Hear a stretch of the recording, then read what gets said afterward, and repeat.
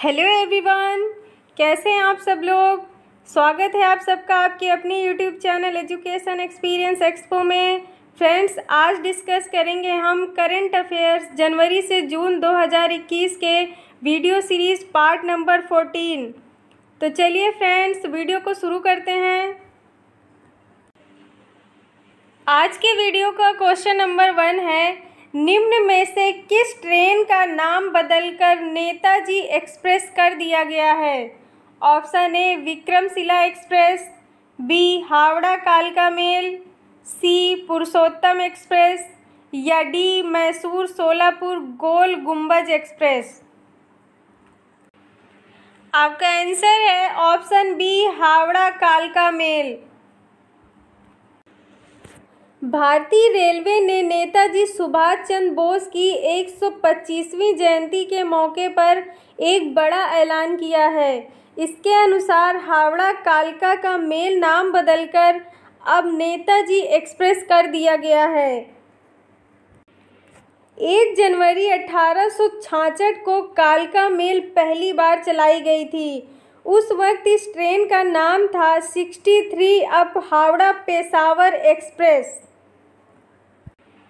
चलिए फ्रेंड्स अब जानते हैं कि भारतीय रेलवे ने नेताजी के ही नाम पर इस ट्रेन का नाम रखने का फैसला क्यों किया है?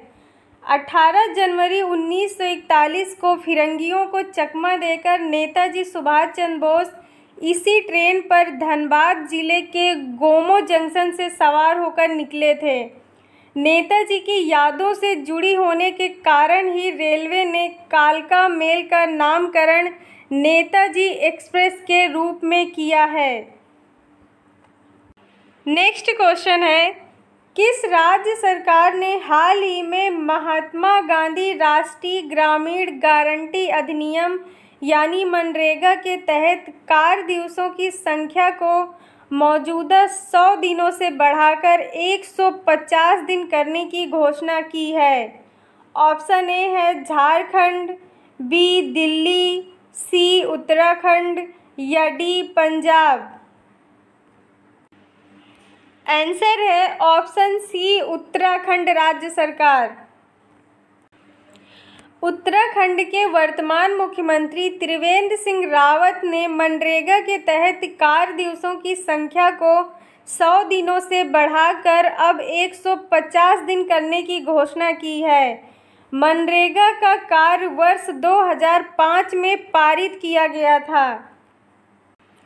मनरेगा का उद्देश्य ग्रामीण क्षेत्रों में आजीविका सुरक्षा प्रदान करने के लिए सौ दिनों का रोज़गार प्रदान करना है। Next, IPL team Rajasthan royals ने किस खिलाड़ी को टीम का नया कप्तान नियुक्त किया है?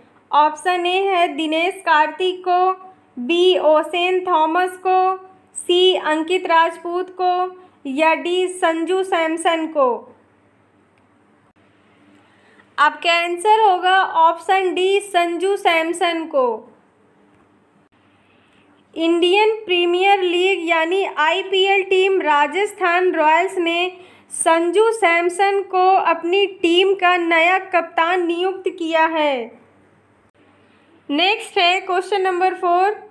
Global fire power index 2021 में चौथा स्थान निम्न में से किस देश को प्राप्त हुआ है? ऑप्शन ए है भारत को, बी नेपाल को, सी रूस को, या डी बांग्लादेश को। आंसर है ऑप्शन ए भारत को। ग्लोबल फायर पावर ने दुनिया की सभी ताकतवर सेनाओं की एक लिस्ट जारी की है। इस लिस्ट में इस साल 133 देशों को शामिल किया गया है, जिसमें भारत चौथे स्थान पर है। ग्लोबल फायर पावर की इस साल यानी 2021 की लिस्ट में अमेरिका की सेना को दुनिया की सबसे ताकतवर सेना बताया गया है, जबकि रूस को दूसरे स्थान पर और चीन को तीसरे स्थान पर रखा गया है। आइए फ्रेंड्स सब जानते हैं ग्लोबल फायर पावर क्या है। ग्लोबल फायर पावर किसी देश की सैन्य ताकत के विभिन्न पहलुओं को ध्यान में रखकर इस लिस्ट को तैयार करता है। इसमें रक्षा बजट, आधुनिक हथियारों और सैनिकों की संख्या समेत कई फैक्टरों के आधार पर रैंकिंग तय की जाती है। Next question. गुजरात सरकार ने हाल ही में ड्रैगन फ्रूट का नाम बदलकर क्या रखने की घोषणा की है?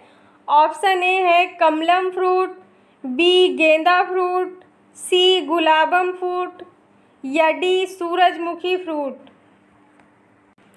आपका आंसर होगा option A Kamalam fruit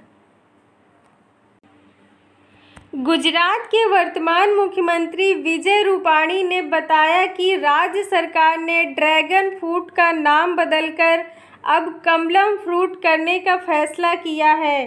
dragon fruit को सुपर फ्रूट भी कहा जाता है और यह देखने में काफ़ी आकर्षक लगता है। कैक्टस प्रजाति के पौधे में यह फल उगता है और शरीर की रोग प्रतिरोधक क्षमता यानी इम्यूनिटी को बेहतर करने के लिए लोग इसे खाते हैं। फ्रेंड्स अगर वीडियो में दी गई जानकारी आपको अच्छी लग रही हो तो प्लीज़ वीडियो को लाइक कर दें। थैंक यू नेक्स्ट फिलिस्तीन कितने वर्षों के बाद साल 2021 में अपना पहला राष्ट्रीय चुनाव आयोजित करने के लिए तैयार हुआ है? ऑप्शन ए है दस साल के बाद, बी चौदह साल के बाद, सी बीस साल के बाद या डी पच्चीस साल के बाद। फ्रेंड्स आपकी जानकारी के लिए बता दें कि फ़िलिस्तीन ने काफ़ी टाइम से कोई भी राष्ट्रीय चुनाव नहीं करवाए थे। इस साल यानी 2021 में कई सालों के बाद उसने अपने यहाँ राष्ट्रीय चुनाव करवाया है। आपके पास ये चारों ऑप्शंस दिए गए हैं। आपको बताना है कि उसने कितने साल बाद राष्ट्रीय चुनाव करवाए हैं। आपका आंसर होगा ऑप्शन बी, चौदह साल बाद। फिलिस्तीन ने चौदह वर्षों के लंबे समय के बाद वर्ष 2021 में अपना पहला राष्ट्रीय चुनाव आयोजित किया है। इस साल होने वाले चुनाव में संसदीय राष्ट्रपति और राष्ट्रीय परिषद के चुनावों को शामिल किया गया है। फिलिस्तीन के वर्तमान राष्ट्रपति महमूद अब्बास ने इस संबंध में एक डिग्री पर हस्ताक्षर किए हैं, जिसके अनुसार संसदीय चुनाव 22 मई को आयोजित किए गए, जबकि राष्ट्रपति चुनाव के लिए 31 जुलाई और राष्ट्रीय परिषद चुनाव के लिए 31 अगस्त की तारीख तय की गई थी। इसके साथ ही फिलिस्तीनी राष्ट्रपति ने चुनाव समिति सहित देश के सभी राज्यों को सभी शहरों में लोकतांत्रिक चुनाव प्रक्रिया शुरू करने का निर्देश दिया है। नेक्स्ट, नेताजी सुभाष चंद्र बोस की जयंती को केंद्र सरकार ने किस दिवस के रूप में मनाए जाने की घोषणा की है?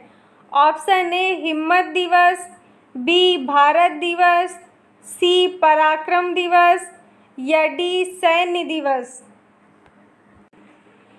आंसर है ऑप्शन सी पराक्रम दिवस। केंद्र सरकार ने हर साल 23 जनवरी, यानी नेताजी सुभाष चंद्र बोस के जन्मदिन को पराक्रम दिवस के रूप में मनाने का फैसला किया है। ताकि राष्ट्रीय और अंतर्राष्ट्रीय स्तर पर उनका सत्कार किया जा सके। सुभाष चंद्र बोस आज़ाद हिंद फौज के संस्थापक भी थे। नेक्स्ट, विश्व सामाजिक न्याय दिवस निम्न में से किस दिन मनाया जाता है? विश्व सामाजिक न्याय दिवस निम्न में से किस दिन मनाया जाता है? ऑप्शन ए है दस जनवरी को। बी बारह मार्च को, सी पंद्रह जुलाई को, या डी बीस फरवरी को? आपका आंसर होगा ऑप्शन डी बीस फरवरी को। पूरी दुनिया में 20 फरवरी को विश्व सामाजिक न्याय दिवस मनाया जाता है।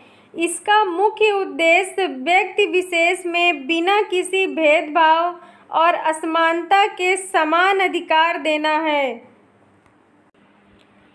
इसके साथ ही लोगों को सामाजिक न्याय और समानता के प्रति जागरूक करना है। वर्ष 2009 में इस दिन को पहली बार वर्ल्ड सोशल जस्टिस डे के रूप में मनाया गया था।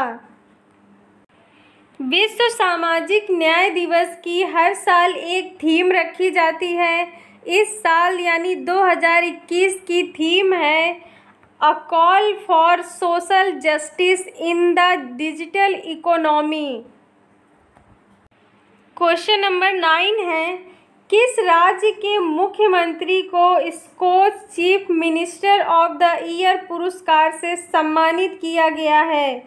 ऑप्शन ए है, आंध्र प्रदेश बी राजस्थान सी या डी कर्नाटक। आंसर है ऑप्शन ए आंध्र प्रदेश। आंध्र प्रदेश के वर्तमान मुख्यमंत्री हैं वाई एस जगन मोहन रेड्डी। इन्हीं को इसको chief minister of the year पुरस्कार से सम्मानित किया गया है। नेक्स्ट है क्वेश्चन नंबर टेन हाल ही में किस राज्य सरकार ने गरीबों और निराश्रितों के लिए रियायती पका हुआ भोजन उपलब्ध कराने हेतु माँ कैंटीन का शुभारंभ किया है? ऑप्शन ए है Bihar, B Paschim Bangal, C Jharkhand, D Uttar Pradesh. आपका सही जवाब होगा ऑप्शन बी पश्चिम बंगाल। पश्चिम बंगाल की मुख्यमंत्री ममता बनर्जी ने पाँच रुपए की मामूली लागत पर गरीबों और निराश्रितों के लिए रियायती पका हुआ भोजन उपलब्ध कराने के लिए माँ कैंटीन का शुभारंभ किया है। आइए जानते हैं माँ कैंटीन के योजना के बारे में। इस योजना के तहत राज्य सरकार कैंटीन में प्रति व्यक्ति भोजन के लिए पंद्रह रुपये की सब्सिडी देगी, जबकि लोगों को सिर्फ़ पाँच रुपये का भुगतान करना होगा। आज के वीडियो में हमने करेंट अफेयर्स के टेन क्वेश्चंस को डिस्कस किया है। अब डिस्कस करेंगे हम इंपॉर्टेंट पॉइंट्स जीके के टेन क्वेश्चंस को। तो चलिए फ्रेंड्स, ये क्वेश्चंस भी देख लेते हैं। आई होप ये भी आपके लिए काफ़ी हेल्पफुल होंगे। पॉइंट नंबर वन है, संसार का सबसे बड़ा मंदिर कहाँ स्थित है? आंसर है कंबोडिया में। नेक्स्ट, भारत में वीरता के लिए दिए जाने वाला सर्वोच्च पुरस्कार कौन सा है? आंसर है परमवीर चक्र। नेक्स्ट भारत का प्रथम परमाणु ऊर्जा रिएक्टर कौन सा है? आंसर है अप्सरा। नेक्स्ट एक किलो बाइट कितने बाइट्स के बराबर होता है? आंसर है दस सौ चौबीस बाइट्स नेक्स्ट ऑटोबायोग्राफी पुस्तक किसने लिखी है? आंसर है पंडित जवाहरलाल नेहरू ने। नेक्स्ट अंतर्राष्ट्रीय न्यायालय के न्यायाधीशों का कार्यकाल कितने वर्ष का होता है? आंसर है नौ वर्ष का। नेक्स्ट है, देश में सबसे ज़्यादा एटीएम किस बैंक के हैं? आंसर है एसबीआई बैंक के। नेक्स्ट शतरंज के बोर्ड में खानों की कुल संख्या कितनी होती है? आंसर है सिक्सटी फोर चौंसठ। नेक्स्ट है ऑल इंडिया रेडियो को आकाशवाणी का नाम किस वर्ष दिया गया था?